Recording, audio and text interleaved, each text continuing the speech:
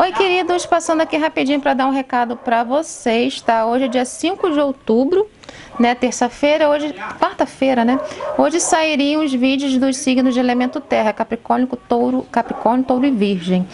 Eu sempre faço os vídeos da semana, gente, com uma semana de, de uma semana antes, tá? Então já tinha tava tudo prontinho. Só que eu fiquei encasquetada com o assunto que tinha saído nessa tiragem e decidi refazer as tiragens ontem para sair hoje. Só que saiu a mesma coisa do que eu, ia, que eu tinha falado na semana passada, que eu tinha feito os vídeos. Que assunto que tá saindo? Gente, pode chamar a gêmea de novo. Não adianta, tá saindo direto esse, esse, assunto aqui. Eu sei que vocês estão de saco cheio, eu também tô ficando de saco cheio disso. É porque eu acho que está se tornando uma, uma, uma, coisa muito crítica, uma situação muito crítica que está deixando a espiritualidade dos mentores de vocês desesperados. Tá? A tiragem de Capricórnio, de Touro e de Virgem, eu acho que foram mais focados nas pessoas que estão falando sobre isso. Tarólogos, trabalhadores da luz, gente que não tira tarô, mas trabalha com espiritualidade. O recado foi mais ou menos o seguinte: parem agora de ficar falando sobre isso, tá? Isso são eles que tá, falaram na tiragem, não tem nada a ver com isso.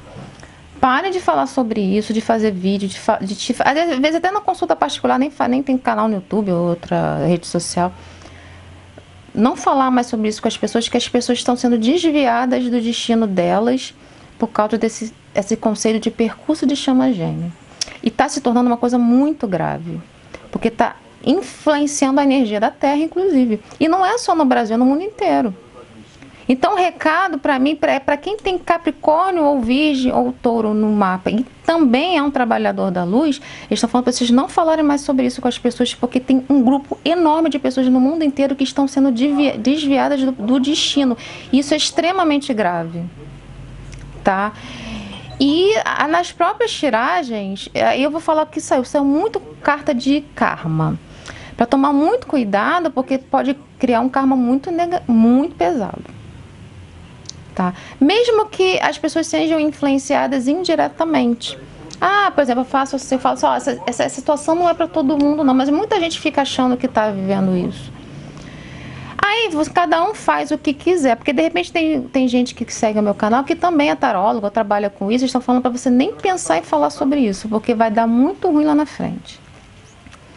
Só que eu não quero mais fixar nessas, essas situações na minha tiragem, porque é cansativo para vocês também. Então eu negociei com o universo o seguinte, ó, vou refazer pela terceira vez.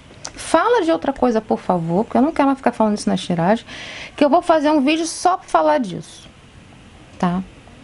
De novo. Vou, eu já tinha feito um vídeo de chama gêmea, mas eu vou fazer outro, mas falando desse, dessa situação mais específica. Tá? Aí vê quem quer. Tá? E se vocês quiserem ver, ver. Se não quiserem ver, não ver. Se não precisa concordar comigo ou com eles. Na verdade, é um recado deles, não tem nada a ver com isso. Pra não ficar saindo as minhas tiragens. Porque fica cansativo demais para vocês também. Mas é, tipo assim, eles falando mesmo. Não, vocês não caírem nessa. Tomar muito cuidado, porque tem gente. Gente, assim. É muito grave o que está acontecendo. Tá? É uma situação assim. caótica. Caótica. Tá? Aí, gente, né, cada um faz o que quiser. Não é uma ameaça, não tô, eu tô só, só, falando que está na tiragem, praticamente foi isso. Então, pô, eu não vou ficar falando disso. Então, por isso que eu decidi refazer. Então, hoje não, vai sair, não vão sair os vídeos de elemento terra, porque não deu tempo de editar e refazer. Eu vou refazer agora à tarde de novo, né? Pra ver se eu lanço amanhã mesmo. Então, eu foi, negociei com a espiritualidade para fazer um vídeo só falando sobre essa questão do que saíram nas tiragens Pra, por favor, na minha tiragem não falar sobre isso, falar de outra coisa. Tá? Eu vou aproveitar esse vídeo aqui para passar alguns regadinhos para vocês, alguns avisos. Aqui vai ser coisa bem rápida, tá? Ontem recebi dois comentários de duas meninas é, nos vídeos que eu lancei ontem. O primeiro comentário, veio uma menina reclamar que ela veio falar até assim. Nossa, eu tô doida que você mude de oráculo porque eu não suporto mais ver você usando esse espírito dos animais. Não aguento mais, tudo que vocês usam outro oráculo aí. Então, gente, vamos lá. Vamos começar aqui. O que, que é o tarô? O que é o tarô? O tarô é um pedaço de papel com uma imagem aqui, só. O tarô só é isso. Um pedaço de papel com uma imagem. E essa imagem, aí botando na questão do tarô, Esse papel com uma imagem tem vários significados. Por exemplo, o rei de ouro tem vários significados. Inclusive do que a sua intuição acha também. O que, que é o espírito dos animais? É a mesma coisa. É um pedaço de papel com uma imagem. Somente isso. Só que também nesse oráculo aqui tem vários significados essa carta do povo. O que, que é o tarô? Também é um oráculo. Então não tem diferença aqui. O problema é que o tarô é um oráculo específico e o, e o Espírito dos Animais é um oráculo específico. Só que esse aqui é o mais famoso do mundo, praticamente, porque ele é aquele oráculo do baralho de, 20, de 56 cartas, mas 22 arcanos maiores. Mas que poderia ser esse aqui também. Então não tem diferença. Não importa o baralho que eu use. A mensagem que tiver que ser passada vai ser passada. Eu não consigo tirar o oráculo dos espíritos animais porque a espiritualidade não quer que eu tire, gente. Vai reclamar com eles. Toda vez que eu faço tiragem sem eles, eu me sinto mal, me sinto incomodada, tá faltando alguma coisa, não tô gostando. Aí eu volto a usar eles, usá-los de novo. Então, eles que estão mandando eu usar. Por que, que eu também uso espíritos animais? Gente, os espíritos animais encurta a tiragem. Para eu poder pegar coisas específicas durante a tiragem, eu tenho que tirar muita carta de tarô. Eu ficar aqui de novo, que nem aqueles vídeos antigos, que eu ficava de 50 minutos a uma hora, para poder pegar a mensagem mais, mais detalhada. Então, o que, que eu faço? Eu uso espíritos animais que ele pega a energia, aí eu aprofundo com tarô, dou um aconselhamento com tarô e também com outros oráculos. Aí a tiragem fica 25 minutos. Eu passo toda a mensagem que deve ser passada em bem menos tempo. As pessoas não têm mais aquele tempo de ficar 50 minutos, uma hora vendo vídeo, porque ninguém tá, a gente não está mais numa pandemia, as pessoas não ficam mais em casa, voltaram a trabalhar presencial. Então não tem tanto acesso ao YouTube como tinha antes. Eu também penso nas, de todas as pessoas. E esse é um facilitador do espírito dos animais. Só que você não tem a obrigação de gostar. Se você não gosta, pode procurar outros canais que façam tiragem sem ele. Você que sabe. Agora eu vou usar o que eu tiver me sentindo confortável usar. Tá? Fica esse recado que a mina foi um pouquinho. Eu deixei não deletei o comentário, mas foi um pouquinho ríspida.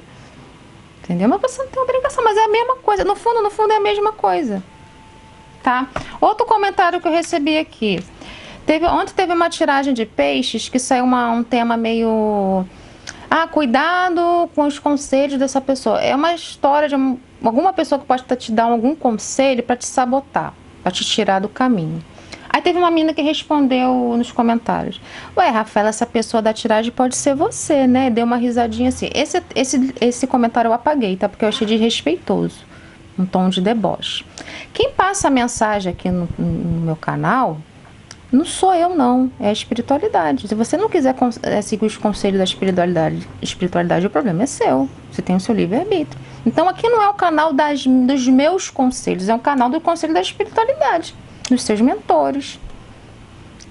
Se você acha que esse aqui estão tentando te sabotar, eu acho que não, você que sabe. Porque a gente tem um livre-arbítrio.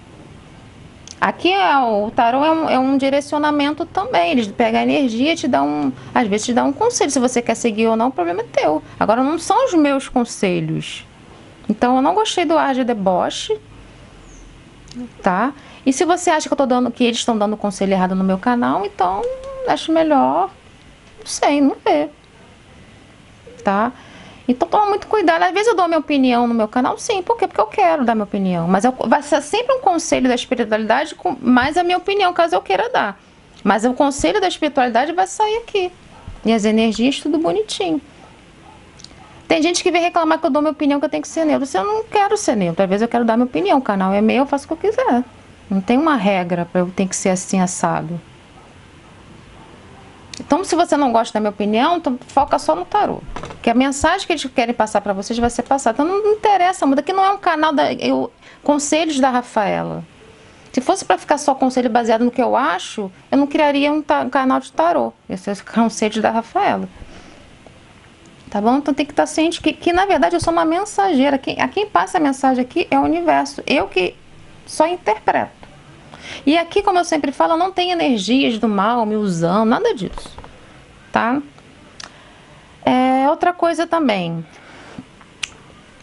Muita gente veio perguntar o seguinte para mim. Eu acho que agora é para finalizar, acho que não tem mais nada para falar não.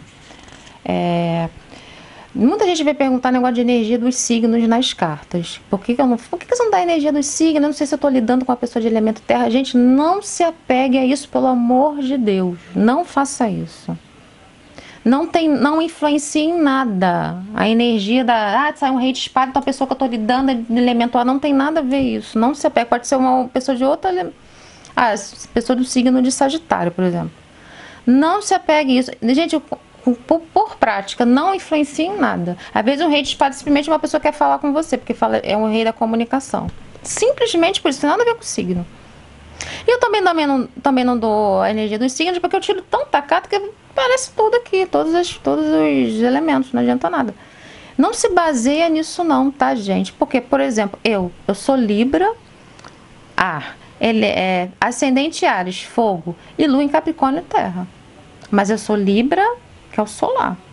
O, o, elemento que eu tenho mais forte no meu, no meu mapa é o elemento terra, não é o elemento ar nem fogo, não. É o elemento terra. E aí? Aí você tá focando numa pessoa, por exemplo, que é de Libra, aí sai uma carta de espada, ah, é a pessoa de Libra. Não, às vezes é uma outra pessoa que tem ar forte no mapa, mas é de câncer.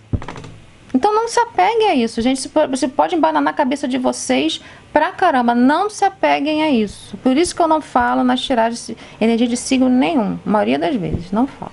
E nem vou falar. Esqueci de falar lá numa informação do início também.